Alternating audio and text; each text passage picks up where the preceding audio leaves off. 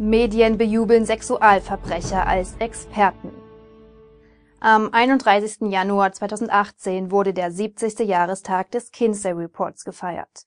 Das wissenschaftliche Vermächtnis des Alfred Kinsey, Vater der sexuellen Revolution, wurde hochgejubelt, da nahezu alle neueren Sexualerziehungsprogramme auf ihn zurückgreifen was die Medien jedoch verschweigen, sind die Rechercheergebnisse von Dr. Judith Reisman, einer amerikanischen Medienexpertin, die 1981 das Buch Kinsey, Sex und Betrug veröffentlichte. Ihre Rechercheergebnisse wiesen auf einen Statistikbetrug Kinseys hin und enthüllen, dass Kinseys wissenschaftliche Daten zu großen Teilen von Prostituierten, Homosexuellen, Gefängnisinsassen und Menschen der Unterwelt stammen, wie Kinsey sie nannte zu ihnen zählt unter anderem der pädokriminelle Serienvergewaltiger Rex King, auch Mr. Green genannt, der für den Missbrauch von circa 800 Kindern verantwortlich gemacht wird. Er hielt die Qualen der Missbrauchsopfer, unter denen teilweise auch Säuglinge waren, in detaillierten Aufzeichnungen fest und reichte sie an Kinsey weiter Anstatt Kinsey und sein Vermächtnis zu feiern, ist eine dringende Abkehr von seiner menschenverachtenden Forschung und deren Einflüssen an unseren Schulen absolute Pflicht. In einer Welt, in der Täuschung und List realitätsgerecht sind, hat es der Wahnsinn nicht schwer, sich mit geistiger Gesundheit zu maskieren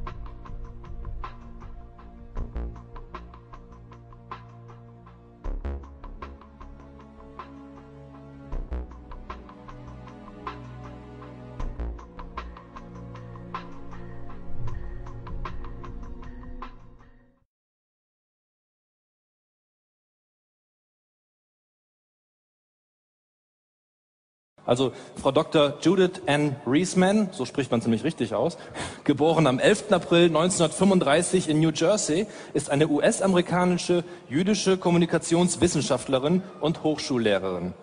Dr. Reisman erwarb 1976 an der Case Western Reserve University einen Magistergrad in Kommunikationswissenschaften und wurde in dieser Fachrichtung 1980 dort promoviert. Nach einer Assistenzprofessur an der University of Haifa in Israel von 1981 bis 83 hatte sie ab 83 eine Forschungsprofessur an der American University inne. 1985 verließ sie diese Hochschule. 1990 hatte sie vorübergehend eine Privatdozentur an der George Mason University. Seit 2011 ist sie Gastprofessorin an der School of Law der christlichen Privathochschule Liberty University. Frau Dr. Reisman ist insbesondere durch ihre scharfe Kritik, Kritik an Personen und an Werken des Sexualforschers, in Anführungszeichen, Alfred Charles Kinsey bekannt geworden.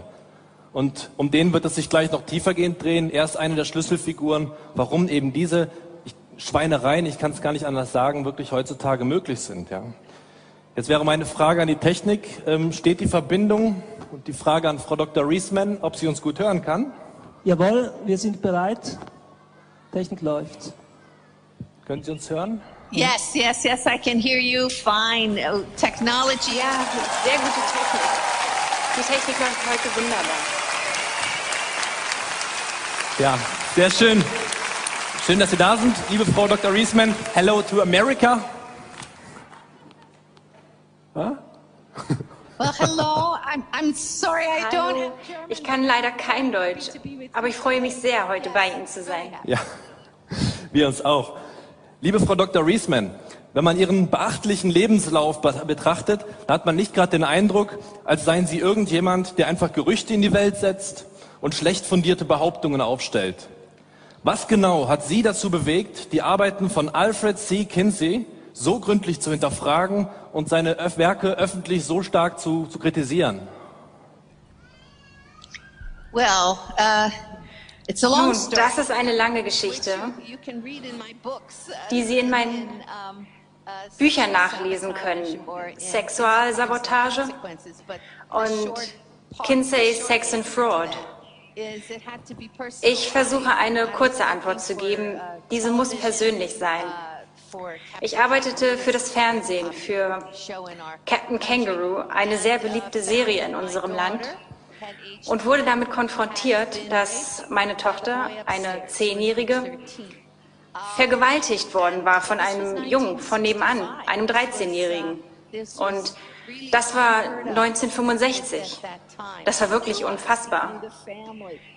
Er kannte uns, er kannte die Familie und ich versuchte zu verstehen, was den Jungen dazu bewegt hatte.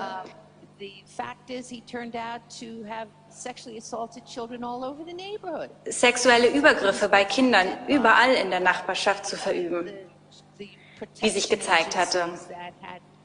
Er wurde von der Kinderschutzagentur geschützt die beauftragt worden war, den Jungen in Therapie zu nehmen.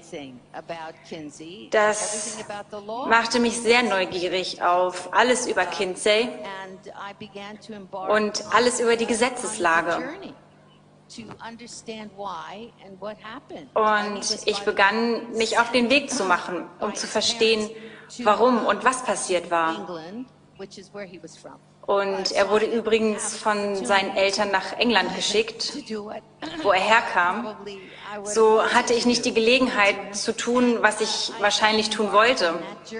Und stattdessen ging ich auf diese Entdeckungsreise und lernte, was ich nur konnte über Kinsey. Die Fakten waren da in seinen eigenen Büchern. Alles leicht zu finden für jeden, der wirklich hinschauen wollte. So fing ich an. Ja, ein ganz herzliches Beileid auch zu dem, was Sie erleben mussten. Das ist sicherlich sehr grausam. Ähm, ich habe auch Kinder, ich kann mir das nicht vorstellen, aber ja, es muss grausam sein. Ähm, ja, die zahlreichen nachgewiesenen Misshandlungen eben kleiner Kinder durch Kinseys Team von sexuellen Experimenten an Kindern bis hin zur Erzwingung von Orgasmen bei Säuglingen. Die sind ein echter grausamer Skandal. Warum ist Kinsey und seine Rolle als Vater der heutigen Sexualwissenschaften dennoch so wichtig für viele Diskussionen über Sexualerziehung an den Schulen? Ja, well, um, first of all, uh, ja gut, zunächst einmal diese sogenannten Orgasmen. Uh, ähm, Orgasmen eines zwei Monate alten Babys, eines vierjährigen Kindes.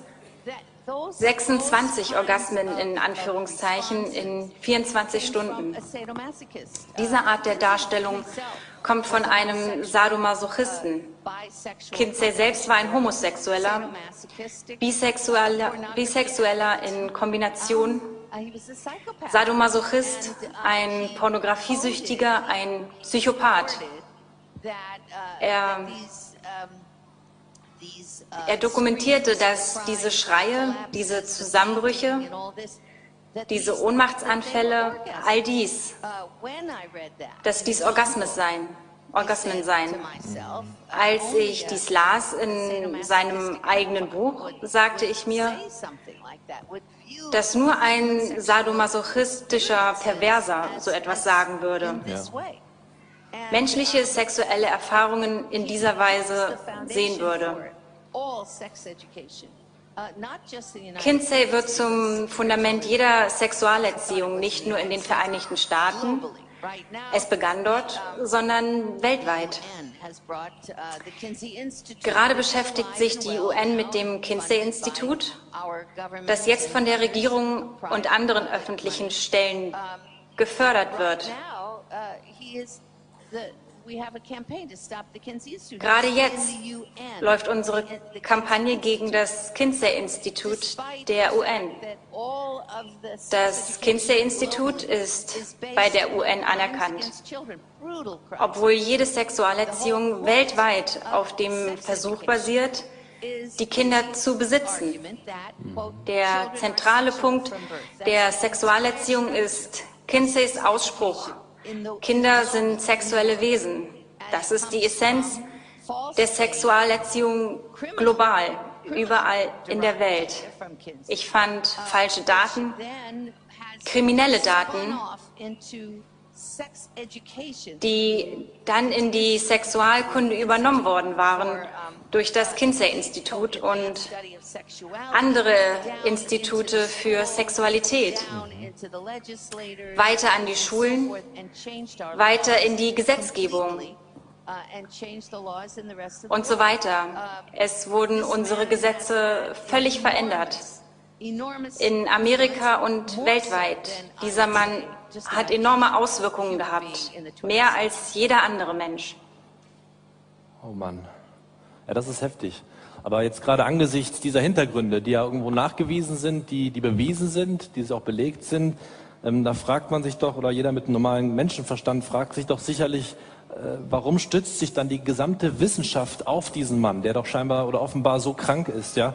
Ähm, stecken die jetzt alle unter einer Decke oder ähm, gibt da einer den Ton vor? Wie läuft das da? Das verstehe ich nicht.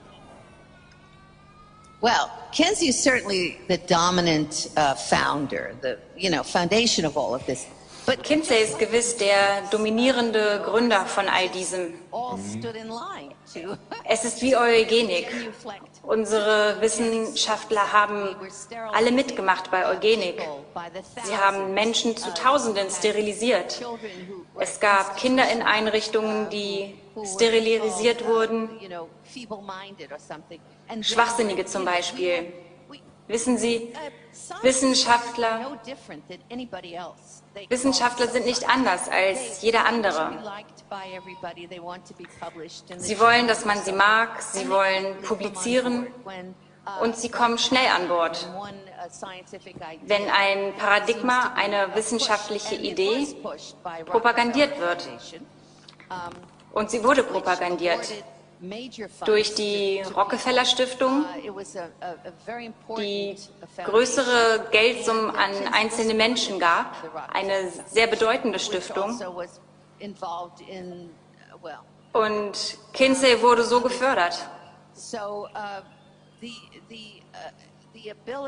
uh, individuals to withstand the die Fähigkeit dieses Einzelnen, sich gegen die allgemeine Meinung durchzusetzen, war nicht so ausschlaggebend.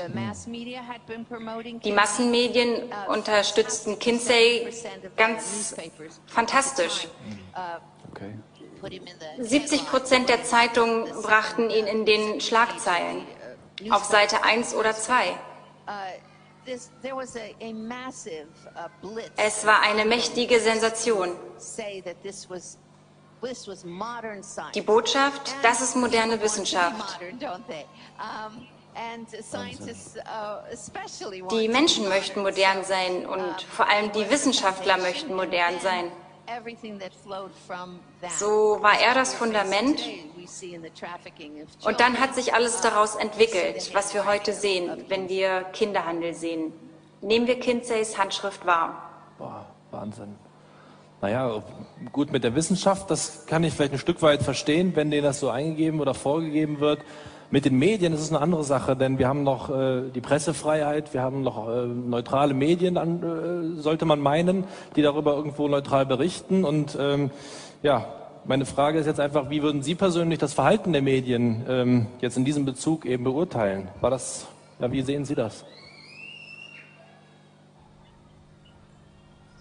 Well, uh, the mass media is in the service of, uh, of its owners. Um, Nun, die Massenmedien dienen ihren Eigentümern. Ja. Das ist ein weltweites Problem, schon seit langem.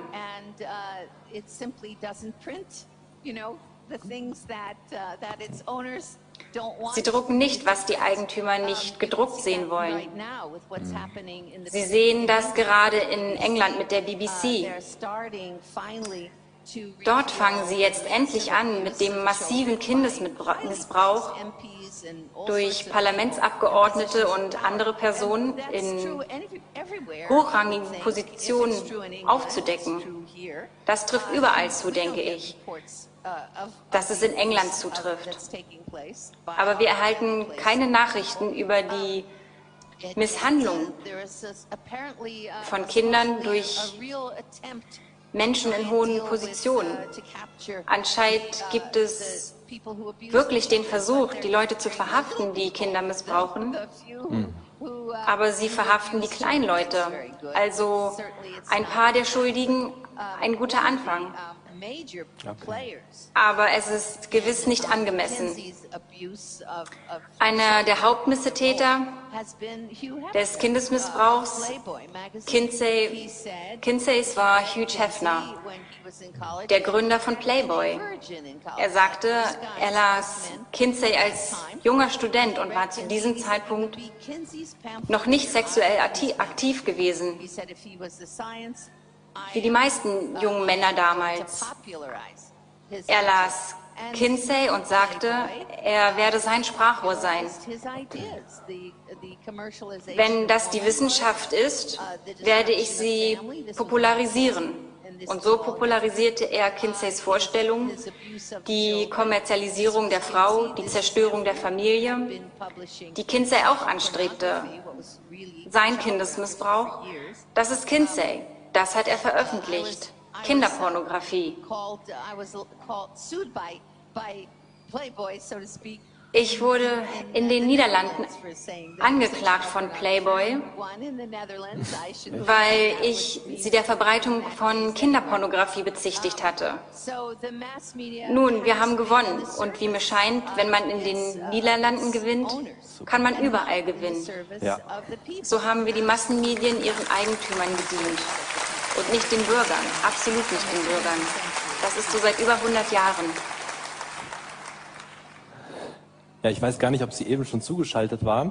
Ähm, es geht darum, einfach jetzt hier in Deutschland zum Beispiel, aber es ist ja auch ein weltweites Problem, hat es jetzt Fälle gegeben, wo eben Eltern inhaftiert wurden, die ihre Kinder vor diesem Unterricht beschützen wollten. Ja, und ähm, ja, das hat, das war jetzt nicht nur ein Fall, es gibt mehrere Fälle hier in Deutschland, aber auch in den umliegenden EU-Ländern hören wir zunehmend diese Sorge eben äh, von Eltern, ja, aufgrund dieser Sexualisierung ihrer Kinder, weil die wirklich dadurch verdorben werden. Und ja, meine Frage ist jetzt an Sie. Was glauben Sie persönlich steckt hinter diesem krampfhaften Zwang, die Kinder ja so ausführlich, wie es nur irgendwie geht, mit der sexuellen Vielfalt zu konfrontieren? Sie sind doch noch klein.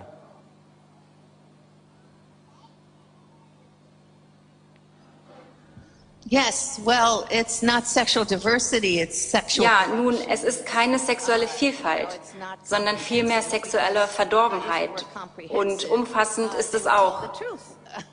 Denn wenn es umfassend wäre, dann würden sie die Wahrheit sagen über die Folgen sexueller Aktivität. It's absolutely clear that the that the es ist klar, absolut klar, dass die Botschaft das Ziel der Zerstörung der Elternschaft ist. Der Versuch des Staates, die Gedanken und das Verhalten der Kinder zu steuern. Schon im frühesten Alter. Wir wissen aus Erfahrung, gewiss Deutschland aus der Vergangenheit und auch wir wissen es, dass die Regierung, der Staat, die Kontrolle über die Kinder übernimmt, über ihre Gedanken, ihr Verhalten, dass dies nur zum Chaos, zur Zerstörung führen kann.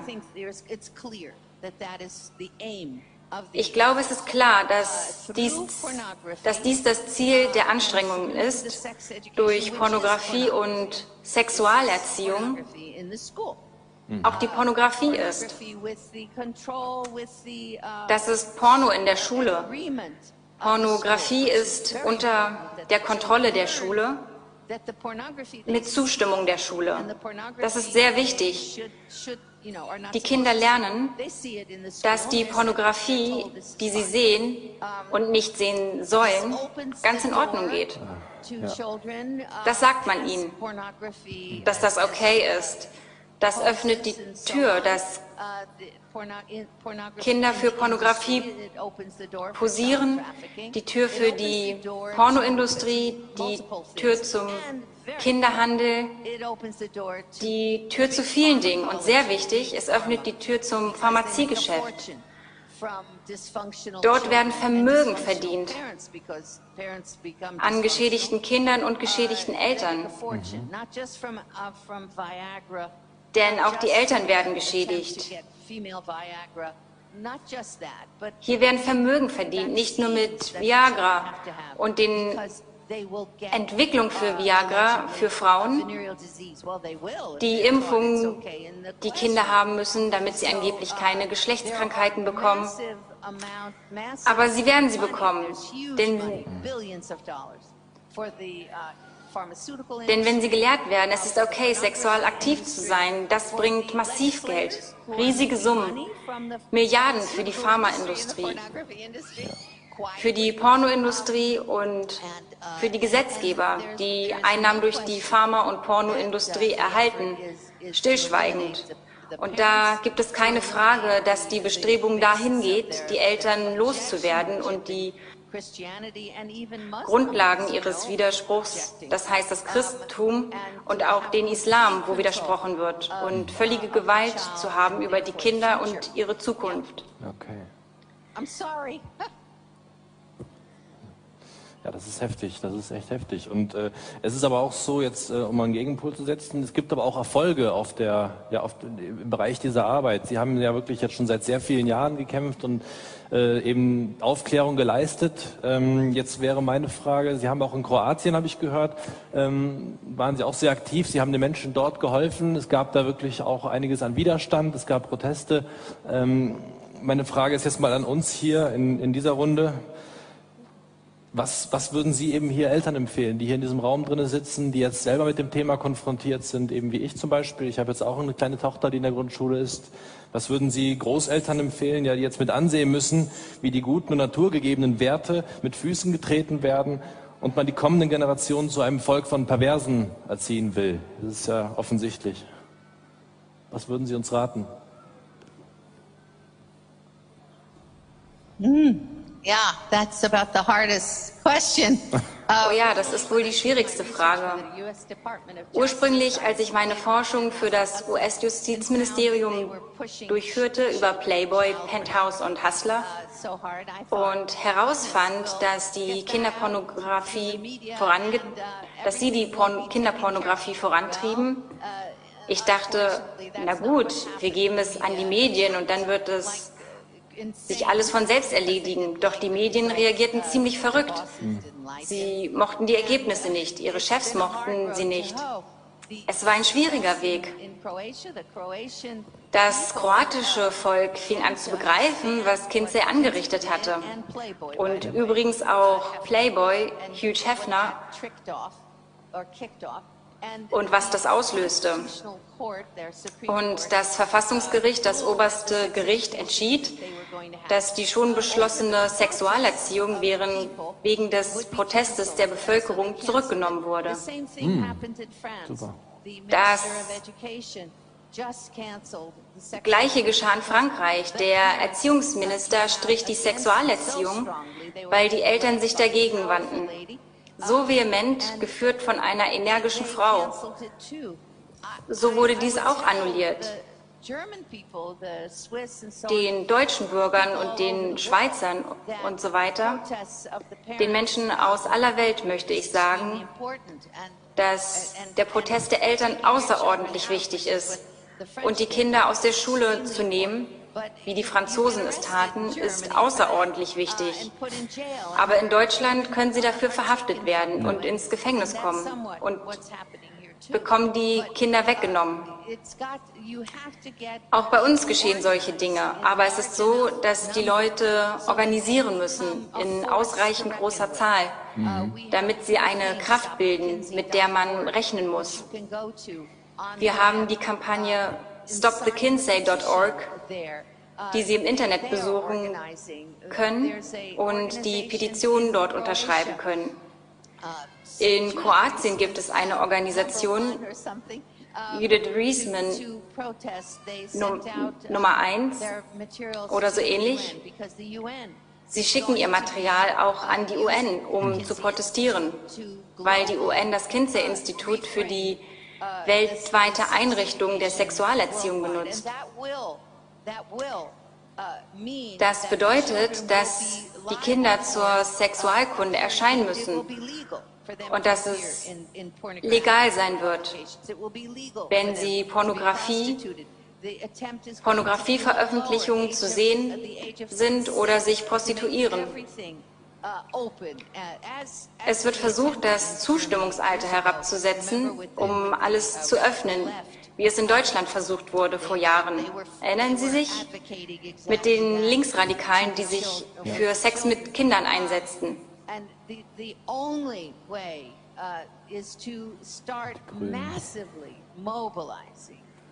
Der einzige Weg ist, massiv zu mobilisieren. Jeder, überall. Die Mächtigen aus ihrer Machtposition zu entfernen. Es braucht einen breit organisierten Einsatz. Und ich werde Ihnen helfen, wenn Sie möchten, dass ich komme. Ja, super. Es wird meine Freude sein, Sie zu unterstützen, wo immer ich kann. Das ist der einzige Weg, wie wir die Kinder schützen können. Das ist unser Krieg. Es wird über den Dritten Weltkrieg gesprochen. Wir sind im Dritten Weltkrieg. Der Dritte Weltkrieg ist der von jedem Land unterstützte Versuch, die Kinder von den Eltern zu trennen. Wir sind mittendrin Ja. und müssen diesem Krieg gegenübertreten. Und das bedeutet totale Mobilisierung. Ja, herzlichen Dank erstmal für Ihr Angebot, uns zu helfen, herzukommen. Das ist ja wirklich eine sehr große Freude.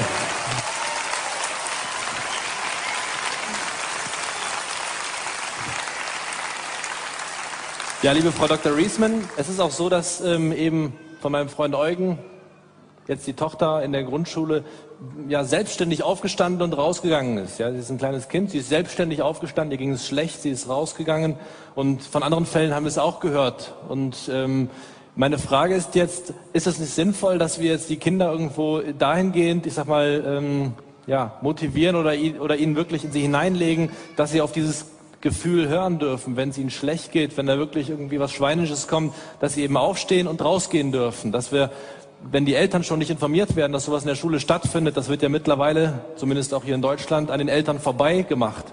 Ähm, dass man dann die Kinder erzieht und sagt, pass auf, du darfst da rausgehen und sie dahin motiviert. Ja, dass sie auch selbstständig vor Ort, wenn die Eltern eben nicht da sein können. Das ist ja meine große Sorge, dass ich nicht da bin in dem Moment, wenn das da gemacht wird. Äh, dass wir die Kinder dahingehend motivieren. Halten Sie das für, ja, halten Sie das für sinnvoll?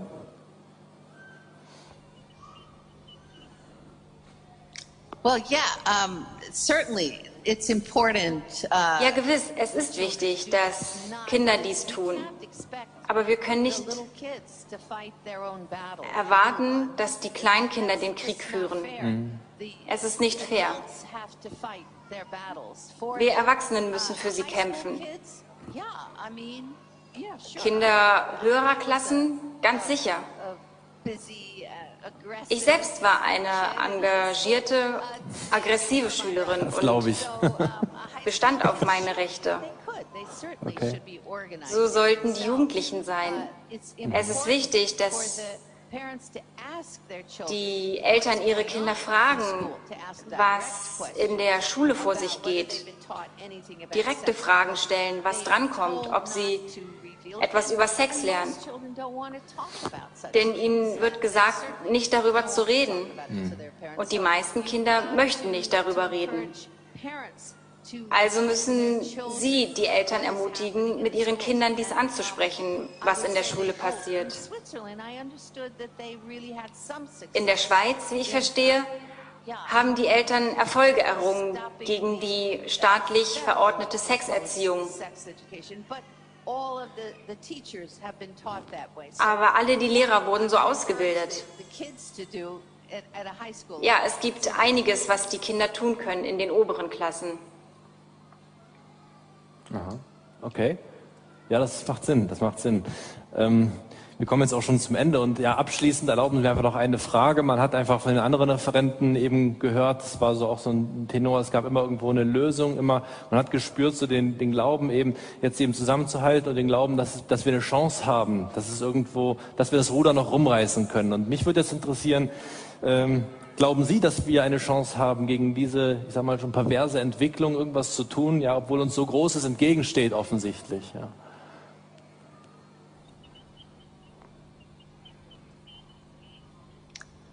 Well, I think we have no alternative. Nun, ich glaube, wir haben keine Alternative. Es ist unsere Verantwortung, es ist unser Job. Okay. Es stehen Leben auf dem Spiel, das Leben unserer Kinder steht auf dem Spiel. Ja. Das Leben anderer Kinder. Kinderhandel ist ein Riesenproblem.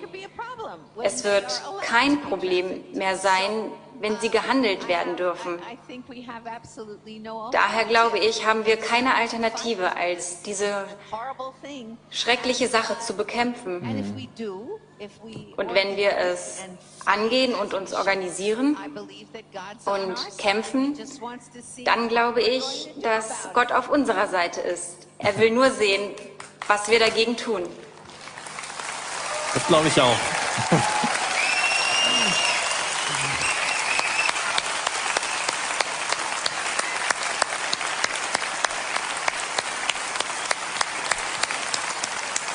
Ja, herzlichen Dank für dieses aufschlussreiche und ermutigende Interview.